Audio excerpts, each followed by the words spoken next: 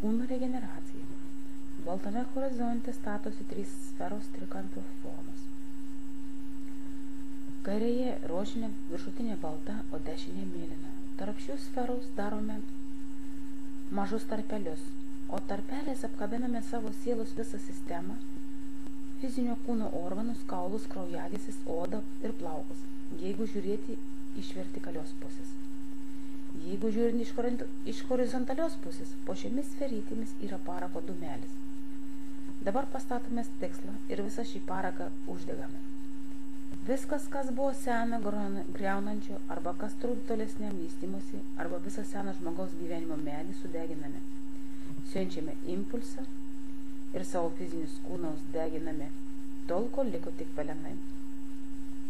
Uždėjome šventosios dvasios vandenį, šventosios dvasios vandens kristalai atstato fizinį kūną pagal dangiškojo tėvo atvaizdą, ant fizinio kūno užsideda saulė, saulė regeneruoja fizinį kūną taip, kaip dangiškasis tėvas kūrė nuo pradžių pradžios, užtvirtina naujo žmogaus sukurtą kūną pagal dangiškojo tėvo atvaizdą. Tebūnė taip. Trispalvė šviesa. Viršuje geltona, per vidurį raudona, o apačia žalia. Prie šios sferos statome metro atstumu savo fizinius kūnus. Kai pastatėme fizinius kūnus prie šią sferą, šią sferą pasukome pagal laikrodžio rodiklę ir laukime, kokia spalva susidarys. Kiekvienas žmogus spalvą mato skirtingai. Šiuo atveju iškrito spalva žydrai fioletinė. Dabar šią žydrai fioletinę sferą uždedame ant savo fizinių kūnų ir su šia sfera suspaudžiame fizinį kūną taip, kad liko tik baltas mažas taškiukas, vienas ant vieno violetinės spalvos. Dabar iš violetinės spalvos suformuoju savo fizinio kūną pagal dangiškojo tėvo atvaizdą. Oda tapo kaip dangiškojo tėvo lastelė, kuriuose yra dangiškojo tėvo šviesa sujungta su dangiškojo su šventosios dvasios vandeniu, o sąmonė pildoma šventosios dvasios vandeniu. Sąmonės lygmenį suformuoja vandens kristalai. Kristalas gali būti 3 ant 3, 3 ant 5 arba 3 ant 3 mm, o kristalo brandolys spindi vaivorykštės spalvomis su norma. Dedame naujas akis suformuotas iš saulės ir mūsų akis tapo saulė. Žiūrėdami per tokias akis, saulė nušviečia kelią ir išformuoja visą informaciją, kuri trukdo kažką svarbaus matyti, suprasti ir jausti. Į kiekvieną danties brandolį dedame kristalą, kuris jungiasi su dangiškojo tėvu. Liežuvis tapo lapas, kuris skleidžia pozityvę informaciją, energiją. Nosies šnervės rožinė matrica jungiasi su sąmonė, kad išskleisti ir išformuoti tik kristalinę informaciją per normą. Į kiekvieną galvos plauko brandolinę lastelę dedame atnaujintą dangiškojo tėvo sukurtą lastelė tik pozityviam ir harmoningam judėjimui. Tai reiškia, kad nuo plauko tampa harmoningos visos sąmonės lastelės arba galva, kuri jau sujungta su dangiškoju tėvu. Kaklo vidury geltona žvaigždė. Žvaigždė gali būti penkiakampė arba šešiakampė. Leidžiamės fizinių kūnų žemyn, virškinimo sistema. Visi kūno organai tapo suformuoti iš šventosios dvasios vandens molekulių Tai reiškia, kad kiekvienas organas yra pralaidus vandeniu.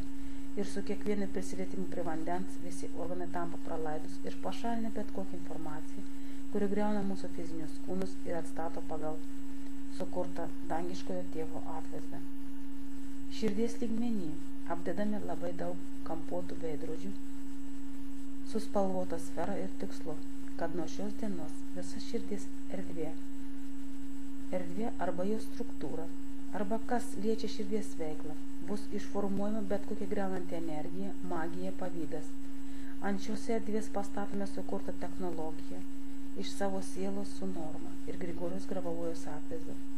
Į sielą dedame saulę, saulė susijungusi su siela skleidžia tokią energiją, kad mintis būtų dar realesnė ir pozityviai su norma. Ir kaip apsauga čia yra uždedamas Grigorijos Grabavojos atvaizdas. Grįžtame prie trečios akies. Į trečią akį dedame kristalinę aštuoniukę. Į aštuoniukės vidury, aštuoniukės vidury akutę raudoną ir deimantą. O į apatinę akutę žalę su mėlynu ir pasukame pagal laikrodžio rodiklį ir susidaro teigiamą informacinio lauko ir sudaro teigiamą informacinio lauko sritį penkiametrėje sferoje. Nepraleidžia jokios negatyvios informacijos iš aplinkos ir išformuoja bet kokią neigiamą informaciją per normai Grigorios Grabovojos atvaizdą. Bambos lygmenyje dedasi geltona sfera. Geltona sfera jungiasi su dangiškojo tėvo sąmonė, o dangiškojo tėvo sąmonė dedasi žemiškosios žmogaus pasaulis ir jungiasi su apatinės dangiškojo tėvo pasaulis. O kur liko tamsios dalis, plauname šventosios vandens, šventosios dvasios vandens kristalais, kurie viską atkuria, kurie viską atkuria, atkuria pozityvą su norma. O ant pėdų matrica, o pėdų viduryje sfera, kad kiekvienas žengtas žingsnis pagreitintų egzistavimo tekmę prie naujo realizavimo principo, kuris yra sukurtas su dangiškojo tėvo per normą. Į likusią kūno dalį dedame Saulės matricą, o Saulės matricas jungiasi su pasauliu. Rankos lygmenį, rankų lygmenį apviniuoju meilės kanon tam, kad rankus liestų dangiškojo tėvo šviesą, meilė ir džiaugsmą su norma.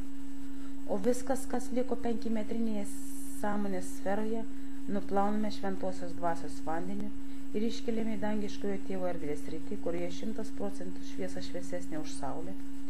Ir ši šviesa žmogaus fizinius kūnus atstato taip, kaip dangiškasis tėvas kūrė nuo pradžių pradžios.